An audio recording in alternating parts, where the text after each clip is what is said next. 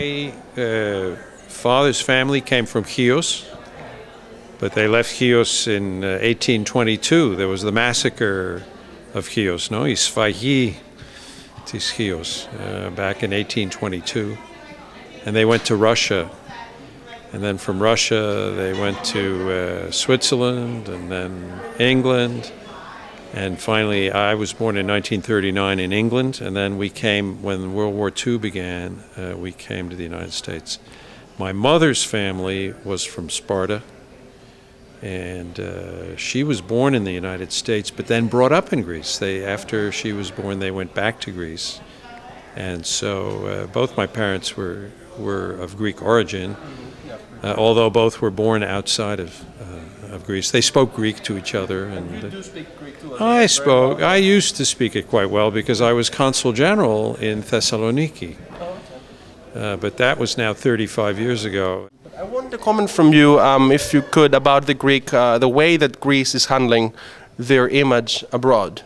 Do you think they do a good job, and especially with the U.S. from the personal experience that you had? Greece has a very good foreign service. I think they're very professional. They have a very strong career service.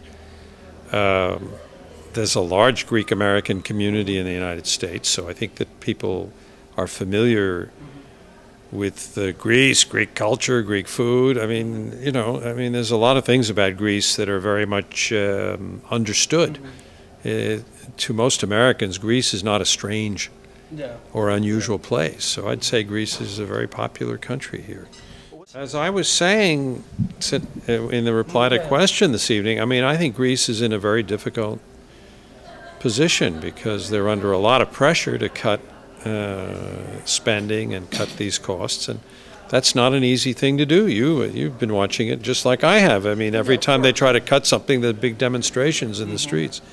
And one thing I learned when I was consul general in Thessaloniki is that when, when Greeks demonstrate, they demonstrate very energetically. I remember they used to demonstrate.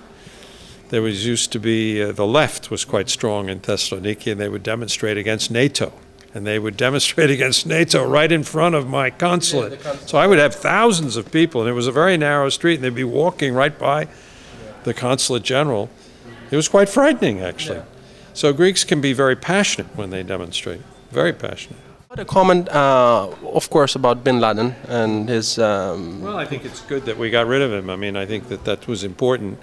did you have Does to it take? mean there's going to be an end to uh, terrorism? No. I mean, I think the problem will continue, but it's a blow for them. It's a serious blow. Were you involved during your years as national uh, intelligence, uh, security intelligence, in the early stages of trying to find him, or? Uh, I, was, Yeah. uh, I supervised all those activities. My, my job had to do with supervising the intelligence community as director of national intelligence.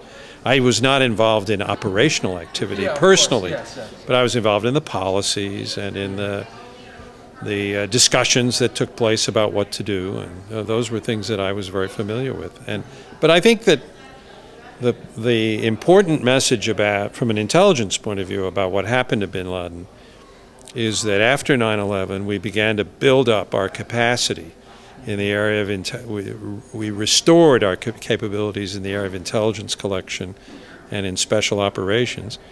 And this is one of the products, if you will, one of the results of the investment that has been made over this 10-year period. So I'd say it's a it's a positive outcome, and it's basically builds on the patient investments that have been made for the last decade.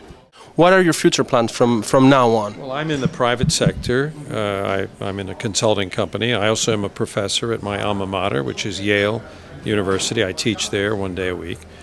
So I have a lot of activities. I'm involved with a lot of uh, non not-for-profit. Would you like to come back? Not especially. Uh, I've I'm uh, over 70 years old, and I have uh, uh, got 44 years of government service. Uh, I, I, no one ever says never if there's some opportunity were to arise, but that's not one of my ambitions at the moment.